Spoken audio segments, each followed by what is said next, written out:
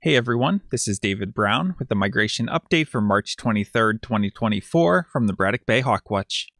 I'm always sharing my sightings, but if you've had a good bird sighting recently, why don't you leave a comment down below letting us know what you saw and where you saw it. It snowed most of the day yesterday and most of the night. The snow had cleared out by the morning, but I still slept in a little bit.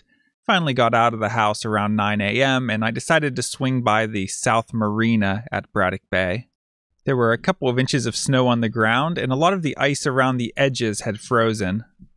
There was a really good number of gulls around, and as I was scanning through them, I spotted a couple that stood out. So, looking to the right of the vegetation first, we see a lot of gulls with these medium gray backs, medium gray. You see some darker, immature herring gulls. But one gull that's laying down and sleeping caught my eye. This one here. We see it looks a bit paler than the others. Zooming in a bit so that we can see it here in the center, we see a gull that's just really pale overall, and the wingtips are blocked in this photo, but there were occasional times where I could see them and they were white. So we have a white winged gull, and this gull was slightly smaller than the surrounding herring gulls, so that rules out glaucous gull, leaving us with an Iceland gull. And see if you can find the other different gull in this photo. How about if we look to the left of the vegetation? Okay, we see a gull. How about this one that is much darker on the back than the surrounding herring gulls? And it's a tough photo from this distance, but through the scope I could see a little more detail. This is a gull that the back of it was a darker color than the surrounding herring gulls.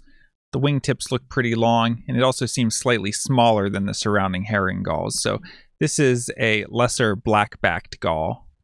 There were also a lot of ducks around. It gave us pretty nice looks. With it being frozen around the edges, it kind of forces them out into the open, which helps us pick through them a little bit easier. Here we have a pair of red-breasted mergansers. Here we have a duck that's pretty plain looking, kind of grayish brown overall, maybe a little bit of orange here on the back. This is a male gadwall. Here's a bird that was up in a tree with a whistling song. We see it's red overall with black around the face and a nice red bill. This is a male northern cardinal. I moved down to the other end of the marina, and you can see really a lot's frozen down here, and there was a nice group of gulls on the ice. This gull stood out to me, and I think it's just a first winter herring gull, but it's a lot darker than most of them that we are seeing. From the South Marina, I had 26 species. Eventually, I made my way over to Braddock Bay Park to start the hawk watch. I took this photo from the platform, but that's not where I counted from today. It was another day of counting either from the car or from next to the car. And it was overcast throughout the morning and really most of the day. The winds were out of the north and they were moderately strong. It shifted around to the northwest as the day went on and the winds weakened a little bit. Temperatures were below freezing or right around freezing, so it felt pretty cold. And Overall, it was gloomy conditions, not very good for raptor migration. Although, towards the end of the day, we did have the sun come out for maybe the last hour or so of the count, but it didn't really help much.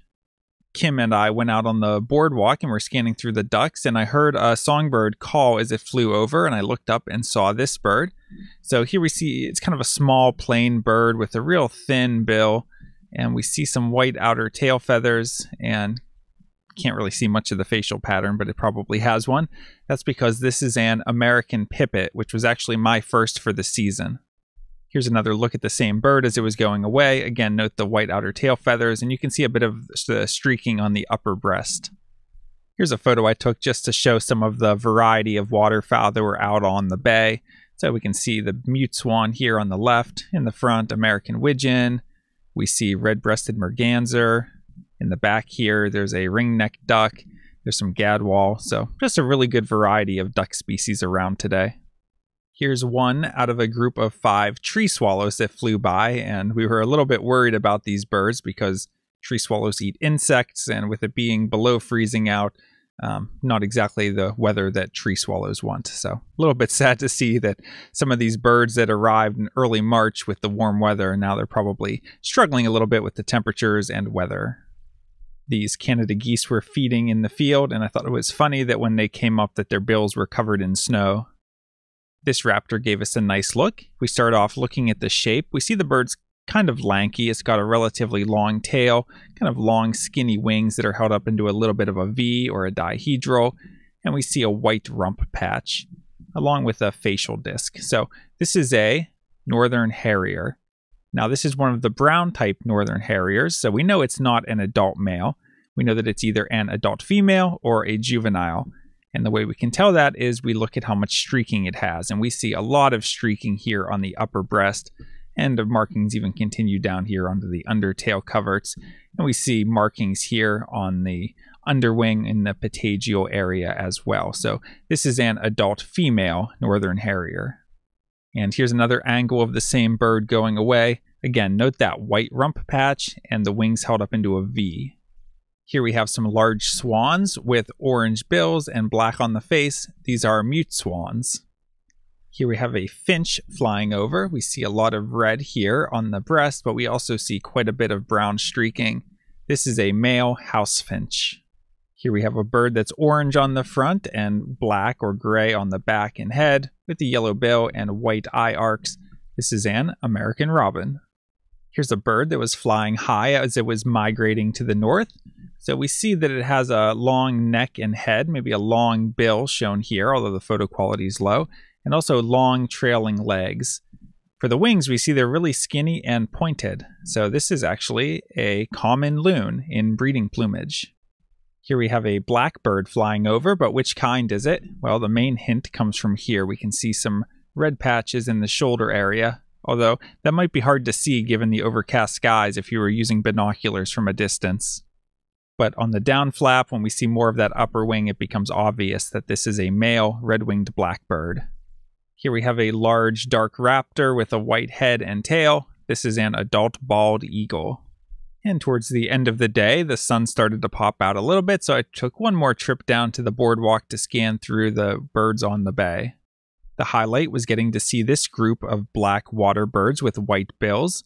These are American coots, and there were a total of around 60 coots on the bay today.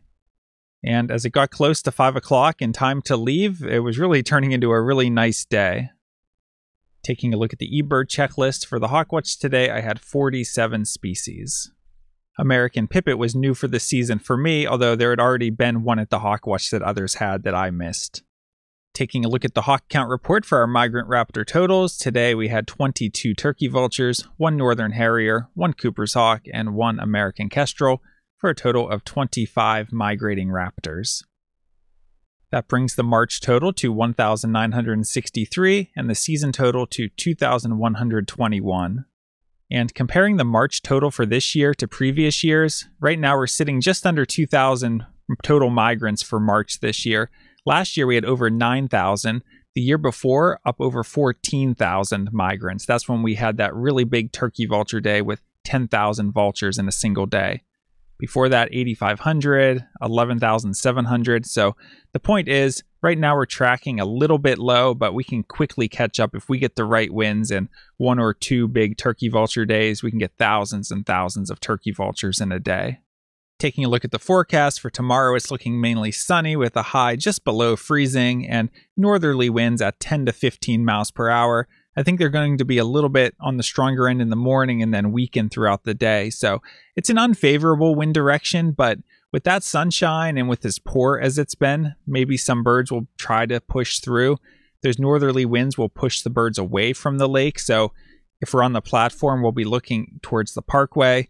There's a small chance we could move to Frisbee Hill. Probably not, but we'll keep that in mind if we need to. But hopefully, we'll uh, keep an eye out for a stream of turkey vultures migrating in towards the parkway for tomorrow.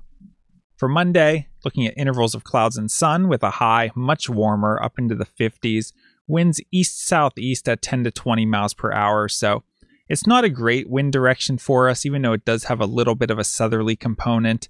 Uh, southeast wind is a headwind for us, so any birds trying to migrate across Braddock Bay are going directly into that headwind, so they end up moving very slowly um, could get some migration. We'll keep an eye on it. And for Tuesday, looking mostly cloudy, even warmer with a high of 58. And again, southeast winds at 10 to 20 miles per hour. It's a headwind, it's fairly strong, but it is southerly. So maybe we'll see some non raptor migration and hopefully some raptor migration as well. We'll keep an eye on that. And then after Tuesday, Wednesday is looking like it's going to have good southwesterly winds, but a chance of rain. So we'll have to see what happens with that day. Thursday might actually end up being the better day. It's looking like there will be some sunshine and it's westerly winds. So it's not as good of a wind if as if it were southwest, but it might be good enough, especially with as poor as the migration has been recently. The birds might be really itching to move. So we'll hope for some better days as we get into the middle of the week. And remember that even with the poor weather for raptors, today was still a really good day of birding with all the waterfowl and gulls that were hanging around the bay. So it can be good to get out and bird the area, even if we're not getting the big raptor migration numbers. If you like this video, please hit the like button and be sure to subscribe so you don't miss any of these daily updates from the Braddock Bay Hawkwatch. From LycoBirds, this is David Brown. Thanks for watching.